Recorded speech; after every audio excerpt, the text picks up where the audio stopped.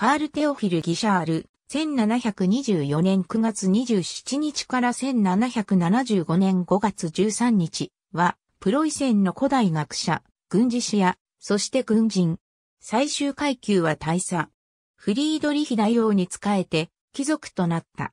さらには、経済人としても成功。プロイセンのタバコ専売事業に関わったほか、プロイセン銀行の前身である王立銀行の長を務めた。その変わった経歴と多くのエピソードによって知られる。ギシャールは大王よりクイントス・イキリウスの名を与えられた。こちらの名前でも広く通じている。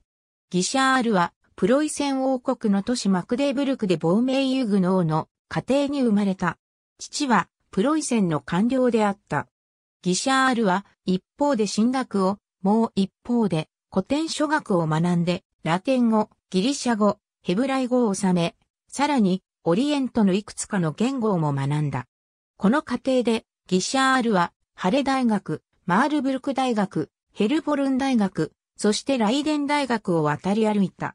ギシャールは牧師見習いとして大学で説教を行ったこともあるが、最終的には古代学研究の道に進むことを選んで牧師にはならなかった。その後ギシャールは、ライデン大学で講師をしつつ教授の地位の獲得を目指して活動したが、うまくいかなかった。オランダ統領ウィレム4世より、ユトレヒト大学教授の地位を受け合われたこともあったが、現地ではすでに別の人物が教授として選出されていて、結局ここでも教授となることに失敗した。ついでギシャールは、オランダ統領下に司書として召し抱えられることを望んだが、こちらも失敗した。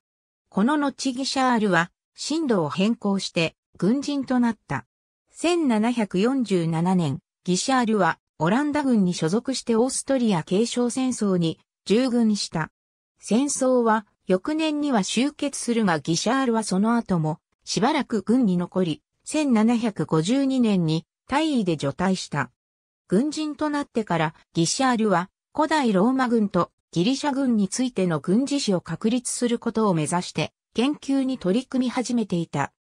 除隊後ギシャールは一度マクデブルクに戻り、兄弟のもとに身を寄せながら研究を続けたが、後に豊かな資料を求めてイギリスに渡り、7年戦争が本格化する1757年まで研究と著作活動に従事した。57年冬、著作出版の手はずを整えたギシャールは、ドイツに戻り、イギリス、北ドイツ諸侯連合軍の司令官であった、ブラウンシュバイク公使フェルディナントに従軍を願い出た。フェルディナント公使は、ギシャールをフリードリヒ大王の陣営に送った。年明け後ブレスラウの陣営に大王を訪れたギシャールは、その古代史、軍事史に関する深い知識によって、大王の行為を得、副官に任じられた。4月には少佐に昇進する。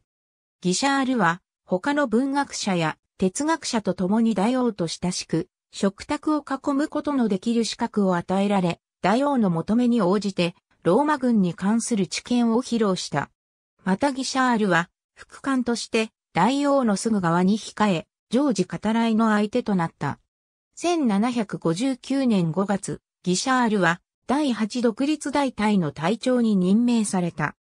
この部隊は、戦列不評連隊と異なり戦時にのみ編成され、本隊から離れて、前衛や遊撃、輸送隊の護衛や、用地警戒など正面戦闘以外の任務を引き受ける部隊で、傭兵を主体とするために規律と指揮の面で見劣りする、統率の難しい部隊だった。そのため、オランダの先生と呼ばれていたギシャールの着任は、将兵に驚きと疑いの態度で迎えられた。しかしギッシャールはこの大隊で部隊指揮官としての優れた能力を発揮し、高い評価を得た。1761年には部隊に2個目の大隊が設置されて連隊に格上げされ、間もなく3個目の大隊も設置されて増強連隊となる。ギシャールは自分の部隊をフライレギオンと洒落て呼び、戦争終結まで一貫して、その指揮官であり続けた。またギシャールは、専任指揮官として、同種部隊7個大隊の編成作業にも携わっている。ギシャールは大王に与えられたクイントス・イキリウスの名を軍人としての名乗りとしており、彼の部隊もまたその名を冠して呼ばれた。クイントス・イキリウス隊は戦争中ほとんどの期間を大王子騎卒軍に属して戦った。ただし、戦争最終年の戦役では、ザクセンで作戦するハインリヒ王子軍に派遣されている。軍が宿営に入っている時は、ギシャールは常に大王の医幕に通っていた。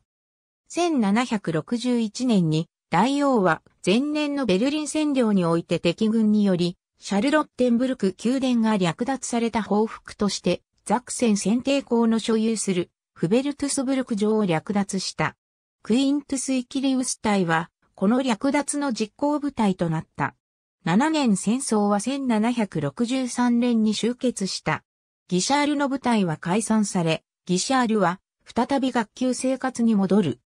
1764年にプロイセン王立アカデミーの会員となり、王立図書館長、王室古物古戦収蔵室長の地位も与えられた。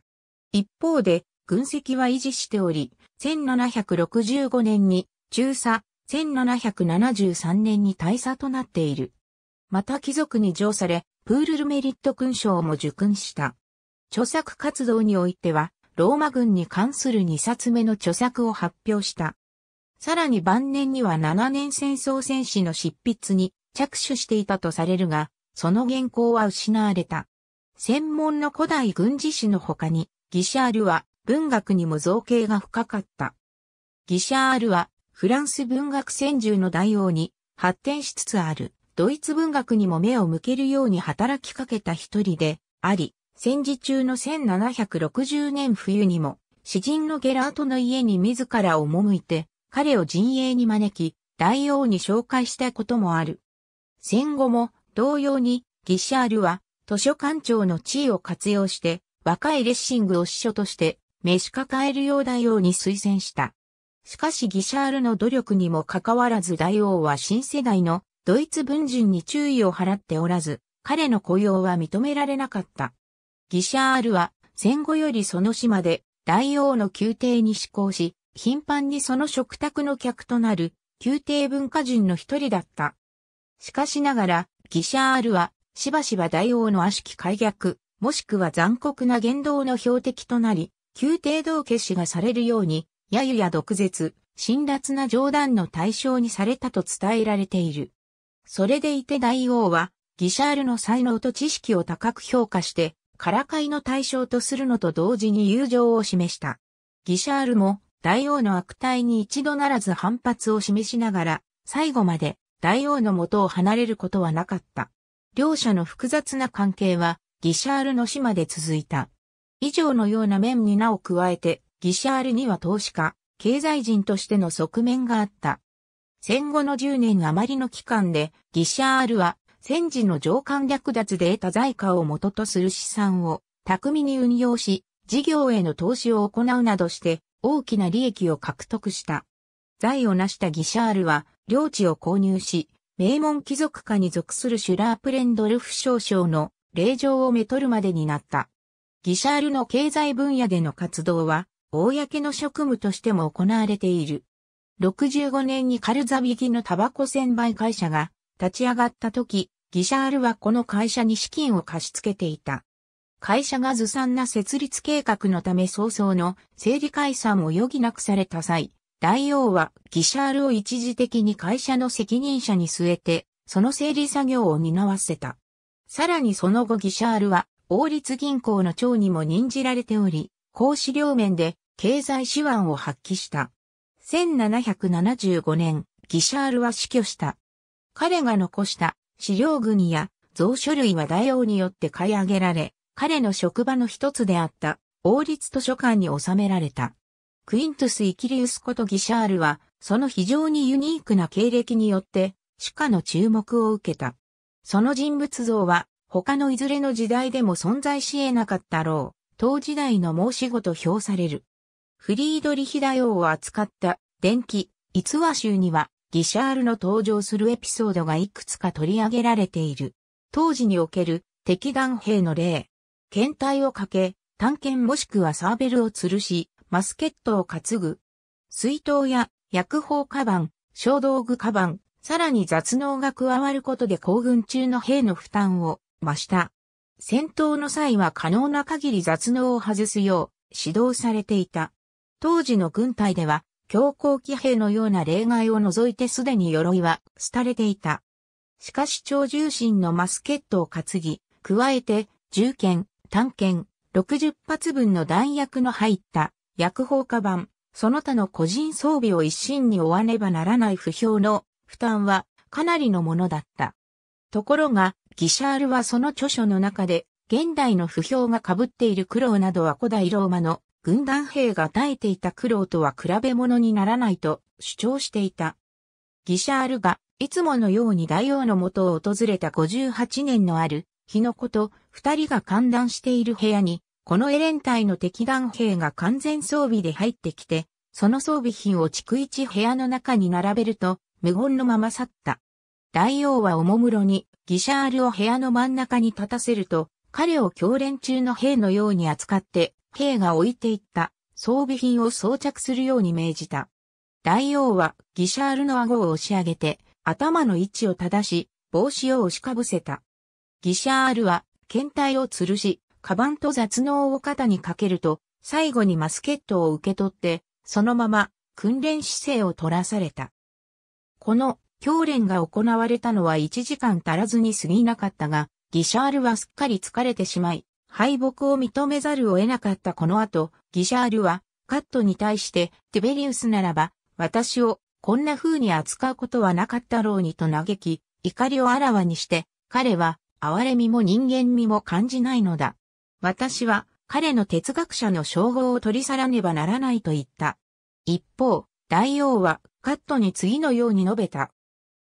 検証があって、初めて自分は物事を正しく判断できているということを君も認めるだろう。我らの友人たる著作者たちは、彼らの研究にのっとって物事を定めるが、彼らの考えが実際の経験によって修正されるのは良いことだ。もし、我らが大意が先ほどの経験の後でもなお軽々しく同じことを書くならば、彼はもう判断力を失っていることになろう。それは悲しいことではないか1759年春、大王率いるプロイセン軍は、オーストリア軍の攻撃に備えて、シュレージエン国境ランデスフートの陣地に入った。米面のオーストリア軍は、ラウジッツ方面に進軍したため大王も、やがてそれを追うことになるが、それまでしばらくの間ギシャールは、大王と古代の軍事史について語り合うことのできる時間を得た。ある日二人は、カエサルとポンペイウスが死有を決したファルサルスの戦いについて話していた。カエサル軍に属して、ポンペイウス軍の側面をつく、優れた働きをした第十軍団エクエストリスのある、ケントリオに話題が及んだ時、大王は彼について、クイントゥス・イキリウス、機敏な男よと言ったが、これは、クイントゥス・カエキリウスの誤りであった。ギシャールはその場で大王の誤りを訂正したが、大王はクイントゥス・イキリウスで間違いないと答えた。翌日、ギシャールはわざわざ本を抱えて大王のもとに現れ、クイントゥス・カエキリウスが正しいと再度説明した。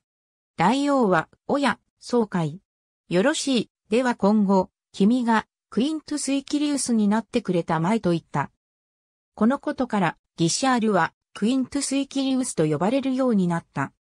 ギシャール自身もこの名を気に入って、鮮明として自ら公に名乗り、舞台故障や軍の職位登録にも用いられる公式の名前としてクイントス・イキリウスが用いられた。戦後も彼はそのままクイントス・イキリウスと呼ばれていた。彼の子孫もこの名前を受け継いでいる。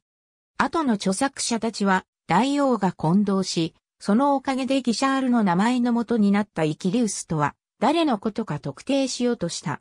ニコライはローマ関連の書籍を総当たりにして3人のイキリウスを見つけ出したが、そのいずれも妥当性がなかった。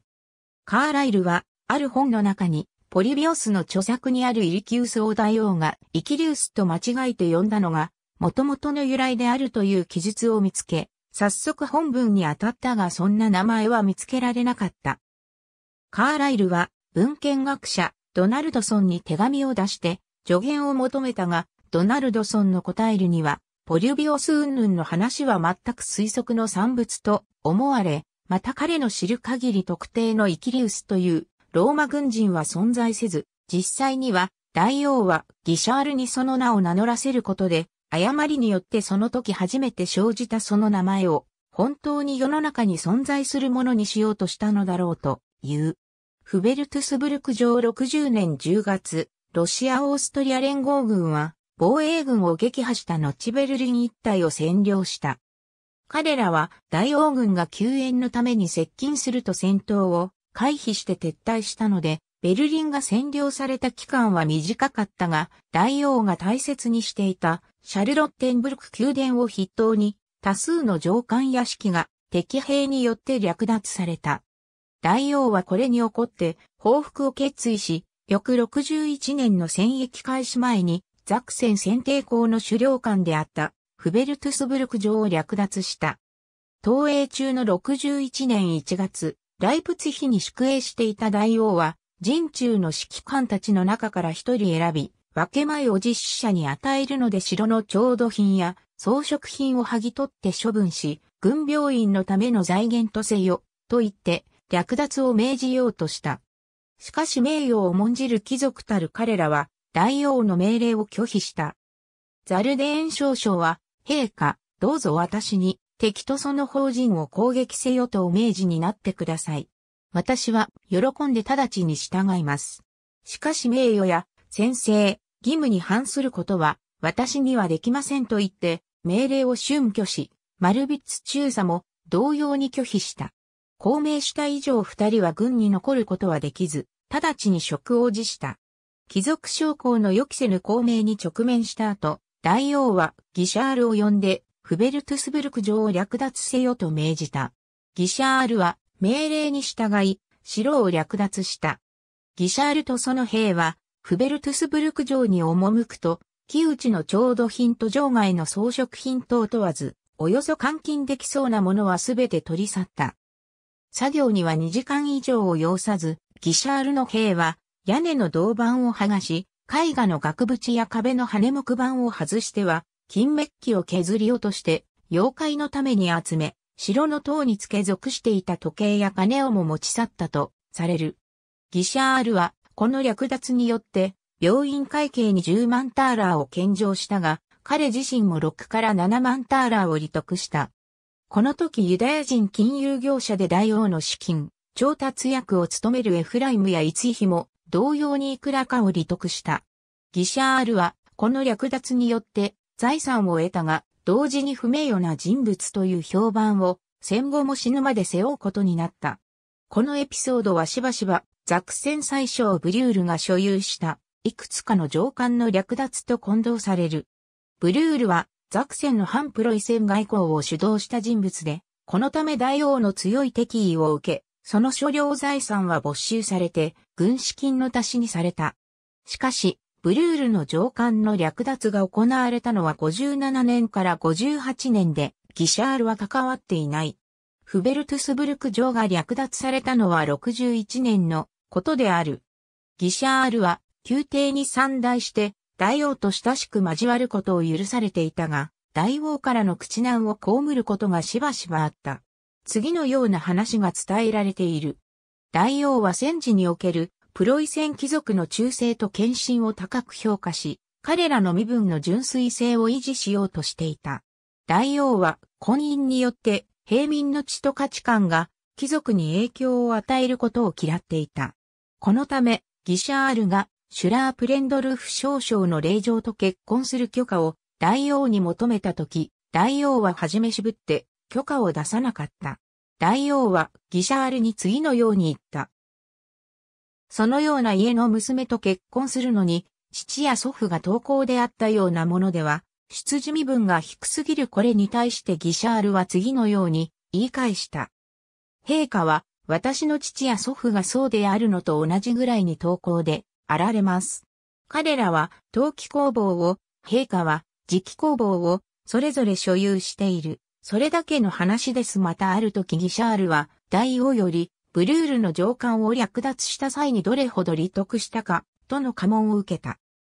昔の話だ。地の流れと講和条約がすべてを水に流した。今となってはどんな返還請求も恐れる必要がないし、君がどうして略奪者となったのかは、全世界が知っていることだから、恥じることもあるまい。だから、あの時いかほど略奪したのか、我々に教えたまえ。どんな圧巻の手口を使って、いくら儲けたか、さあ思い出した前ギシャールはこらえかねて、次のように答えた。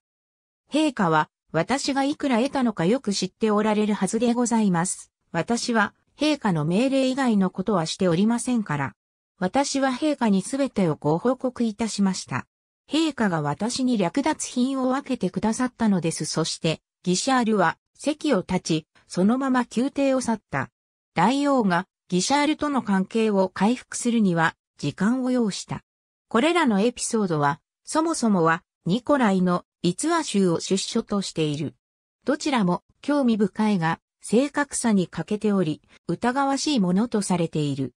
というのもギシャールの父は、投稿ではないし、また先に記したように、ギシャールが略奪したのは、ブルールの上官ではなくて、フベルトゥスブルク城だからである。ギシャールは、ヨーロッパ古代軍事史の確立に貢献した一人で、ある。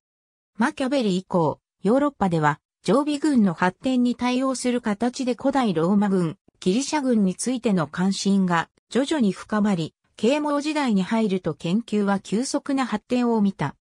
18世紀フランスでは、古代軍事史の知見を現代に応用しようとする軍人学者が何人も登場しており、ホラール、ピュイセギュール、マイゼロアラが知られているが、ドイツではギシャールが彼らに対応する代表的な人物である。当時においてギシャールは、マイゼロアと並ぶ古代戦争術の権威であった。ギシャールは古代ラテン語とギリシャ語の双方に精通した学者であり、かつ自身が軍人として豊かな軍事知識と実践経験を有していた。ローマ帝国水防史で有名なギボンは、ギシャールについて、学者と軍人の長所を融合させた唯一人の著作者との表を残している。ギシャールが7年戦争に従軍していたのと同じ頃、ギボンもハンプシャー民兵隊の将校をしており、ギシャールの著作を読みながら、大隊の訓練を通じて、ファランクスやレギオンについての理解を深めたというエピソードをその回想録に表している。カール・テオフィルの孫で、フランクフルト国民議会議員となる。ありがとうございます。